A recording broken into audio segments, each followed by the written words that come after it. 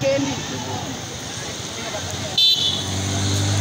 Mtazamaji, hii ni hali halisi ya mafuriko ndani ya wilaya ya Kyela asubuhi ya leo kutokana na mvua kubwa zinazoendelea kunyesha ikiwa ni siku ya pili mfululizo ndani ya wilaya na nje ya wilaya, hasa mvua zinazotokea Tukuyu na Busokelo.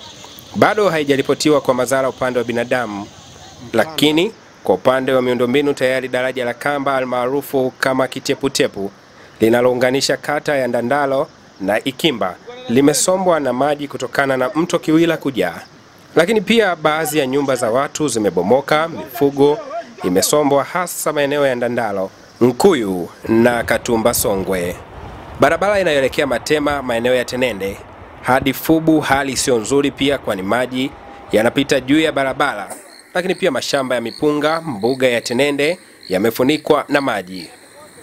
Tutaendelea kuwapa updates toka maeneo mbalimbali, lakini mamlaka husika zinasemaje na hatua gani zitachukuliwa juu ya haya yanayoendelea kutokea?